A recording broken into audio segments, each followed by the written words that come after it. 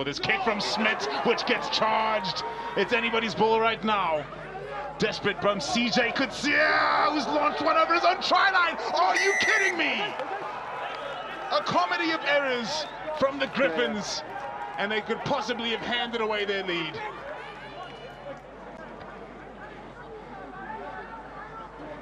Lionel Ah, staying nice and front.